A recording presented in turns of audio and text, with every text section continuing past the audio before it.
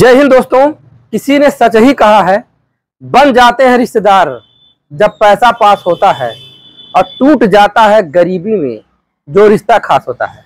दोस्तों, आप लोगों ने देखा होगा कि उनहत्तर हज़ार शिक्षक भर्ती के संदर्भ में, माननीय हाईकोर्ट ने एक निर्णय दिया, जिसमें उन्होंने यह कहा कि उनहत्तर हज़ार शिक्षक भर्ती की पुनः सूची तैयार होगी और उसमें आप लोगों ने देखा होगा कि आरक्षित वर्ग के साथ कुछ गड़बड़ियाँ हुई थी जिसमें अब आरक्षित वर्ग के वो है अभ्यर्थी जिनके साथ कुछ गड़बड़ी हुई थी, अब वो लोग इन होंगे, प्रवेश करेंगे और उसमें से कुछ यूआर कैटेगरी के कैंडिडेट जिनका गलत चयन हो गया था वह रिप्लेस होंगे।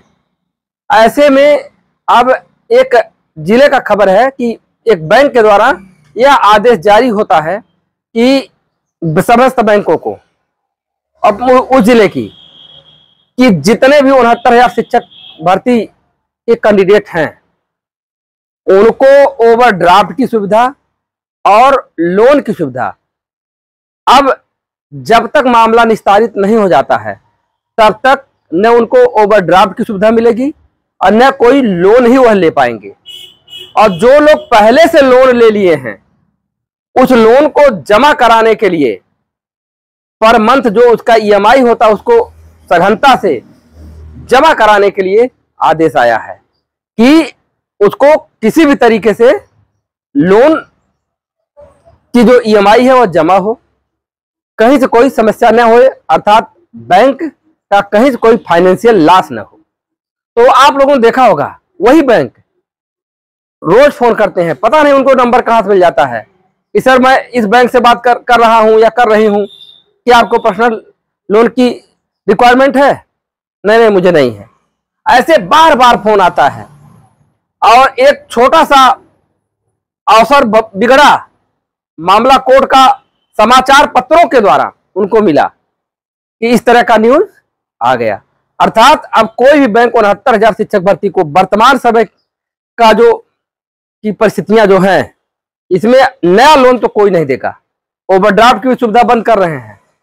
ओवरड्राफ्ट में क्या होता है कि जैसे अगर आपके पास खाते में पैसा नहीं है तो कुछ पैसा आप ले सकते हैं। उसमें होता है कि एक महीने, दो महीने की साथ सैलरी जो होता है, जितना एक लिमिट हो जाता है, उतना पैसा बैंक में न, खाते में न होते हुए भी, जैसे मान लीजिए मुझे, मेरे खाते में पैसा नहीं है।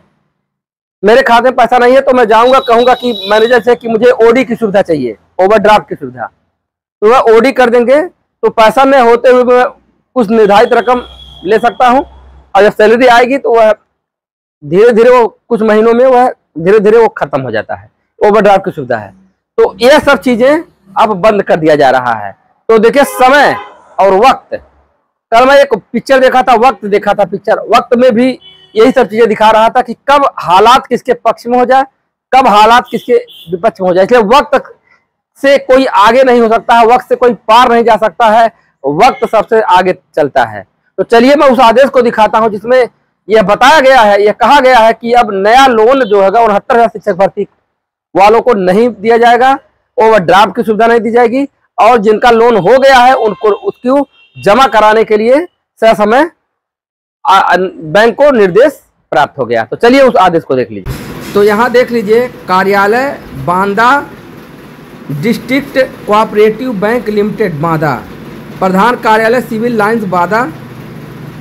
अब यहाँ देख लीजिए समस्त शाखा प्रबंधक, बादा डिस्ट्रिक्ट कोऑपरेटिव बैंक लिमिटेड, जनपद बादा चित्रकूट।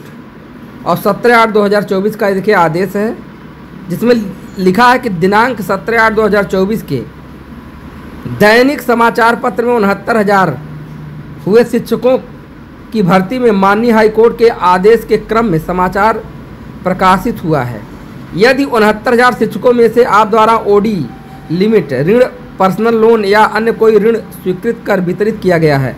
तो ऐसे शिक्षकों के खाता का स्वयं परीक्षण कर तथा सूची तैयार कर बैंक की धन की सुरक्षा को दृष्टि रखते हुए सह समय वसूली की प्रभावी कार्रवाई कर समस्त ऋण की ब्याज सहित शत प्रतिशत वसूली करना सुनिश्चित करें।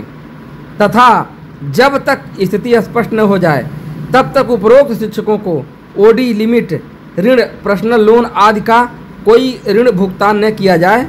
सचिव, यहाँ देखिए, मुख्य कार्यपालक अधिकारी, मादा डिस्ट्रिक्ट कोऑपरेटिव बैंक लिमिटेड मादा।